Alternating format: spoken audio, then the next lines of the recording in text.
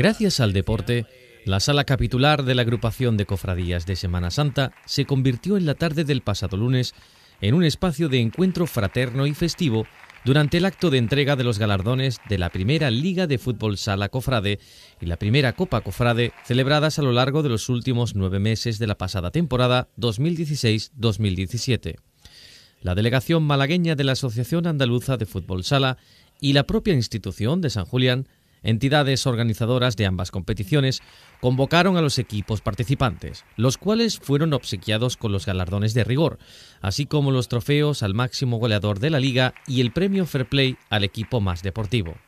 El periodista Antonio Márquez fue el encargado de presentar y dirigir el acto, que se inició con una proyección fotográfica de los 16 conjuntos participantes de 12 hermandades agrupadas, Humildad y Paciencia, Pasión, Estudiantes, Cautivo, a y B. Estrella, Rescate A y B. El Rico, Sangre A y B. Expiración A y B. Sagrada Cena, Zamarrilla y Monte Calvario.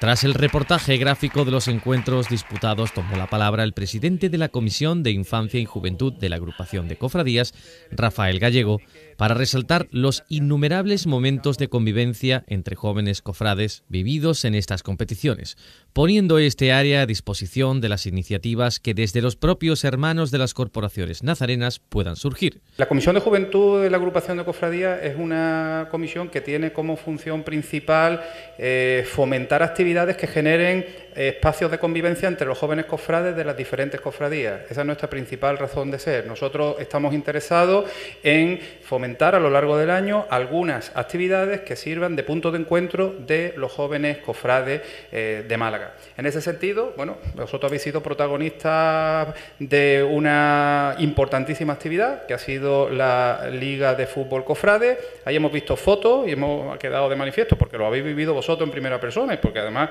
eh, bueno, pues luego lo hemos, recordado aquí en este vídeo, porque se han producido innumerables momentos de, convivencia de los jóvenes cofrades de, las diferentes cofradías de Málaga. En ese sentido, podemos decir que con todas, las necesidades de mejoras, que estoy seguro que en este momento todos tenéis en vuestras cabezas, en las nuestras y en las de los hermanos mayores, pues yo creo que ha sido una actividad que ha valido la pena. Posteriormente llegó el turno de Pablo Fernández, coordinador de la Liga Cofrade, quien indicó que las sanciones impuestas durante ambos torneos revertirán en forma de alimentos a familias sin recursos, demostrando que la rivalidad ha servido para hacer ver que las cofradías son capaces de realizar grandes acciones solidarias cuando nos unimos. Debemos tener claro que la caridad ha sido uno de los principales acometidos de esta Liga Cofrade, en donde las sanciones no han sido medidas en dinero, sino en kilogramos de comida, los cuales ya fecharemos un plazo para su entrega. Gracias a estos, muchas serán las familias necesitadas que podrán tener alimentos para poder comer.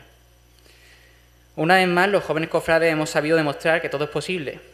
que la caridad unida al disfrute es un bien común que genera una satisfacción personal muy acentuada, de las cuales os daréis cuenta en el momento que hagáis la entrega de esos alimentos correspondientes a, a cada cofradía en función de esas sanciones. Por su parte, el presidente de la delegación malagueña de la Asociación Andaluza de Fútbol Sala, Ignacio Mira, agradeció la participación de los 16 equipos, mostrándose satisfecho y seguro de la realización de nuevas ediciones de la Liga Cofrade.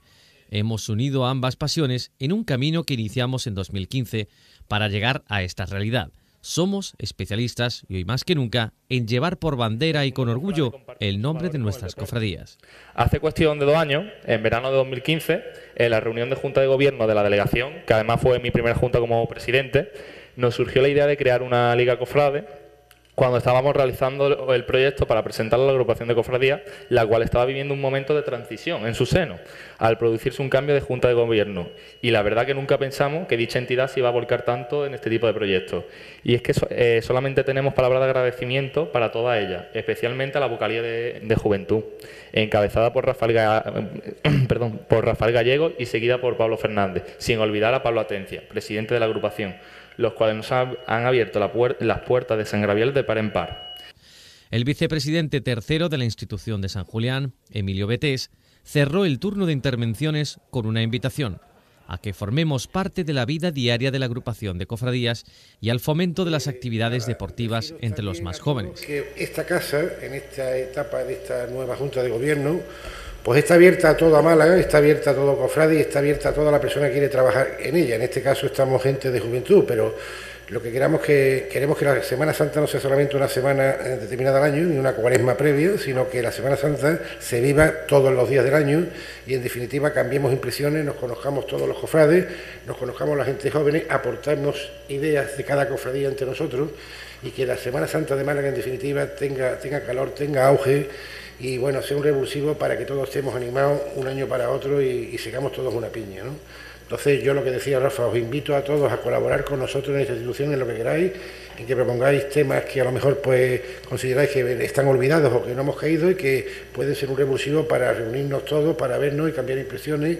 y que bueno, que esta, esta entidad siga estando viva, no solamente en área de juventud, sino en cualquier área de la que eh, tiene dentro de las 16 que creo que tiene ahora mismo esta casa. ¿no? Al término de las oratorias, ambas instituciones realizaron una entrega mutua de recuerdos como agradecimiento de la labor realizada. El momento central del acto lo ocupó la entrega de los diferentes premios y trofeos de los equipos participantes. Germán Morales Parra, el cautivo A, recibió el galardón al máximo goleador, mientras que la formación de Zamarrilla recibió el premio Fair Play al equipo más deportivo. Los primeros premios de la Liga y la Copa Cofrades cayeron en las hermandades de Cautivo por su conjunto A, Rescate B y El Rico, que acompañados de sus hermanos mayores recibieron los galardones, además de una medalla para cada jugador. El resto de cofradías participantes asistieron al acto Humildad y Paciencia, Estrella, Rescate, Expiración y Monte Calvario recibieron un diploma con el puesto ocupado en la clasificación.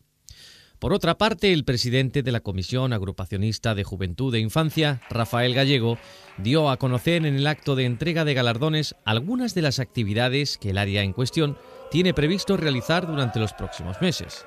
Desde el presente mes de junio y hasta octubre, en colaboración con el Instituto Andaluz de Juventud, la agrupación de cofradías realizará un programa de promoción cultural del patrimonio de las hermandades que se presentará en los próximos días. A su vez, el también hermano mayor de Zamarrilla, garantizó la celebración de la segunda edición de la carrera Cofrade, que congregó a unos 1.500 participantes el pasado 7 de mayo. ¡Un, dos, tres,